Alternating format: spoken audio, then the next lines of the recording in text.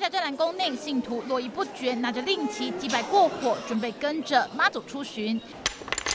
信徒准备好了，但庙方却是严阵以待。因为起驾当天，总统蔡英文、台北市长柯文哲、蓝营大佬马王吴珠，外加当红韩国瑜，有意问鼎总统大位的人选，几乎通通到齐。我们大甲妈的绕境，我们都会邀请不分谁啊，大家拢喜欢作为信徒。庙方口头上答的轻巧，但其实背后可是用心安排。政治人物彼此王不见王，祭拜时间仪式巧妙错开。但其中国民党主席吴敦义和高雄市长韩国瑜。分别会在下午一点和两点抵达，两人有没有机会相遇，来个提前的午韩会呢？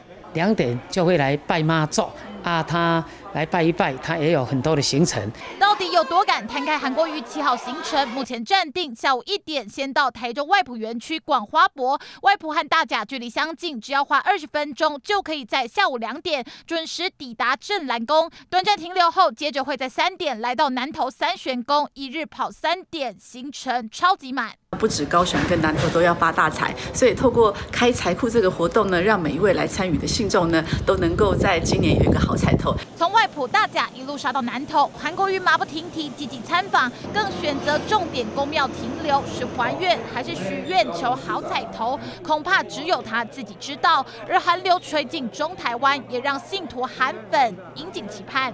记者李梦东、江景城台中采访报道。